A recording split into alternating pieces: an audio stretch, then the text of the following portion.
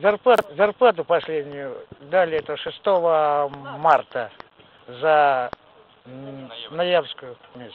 А отработали вы когда? Последний месяц, в ноябре, 17 ноября. Да.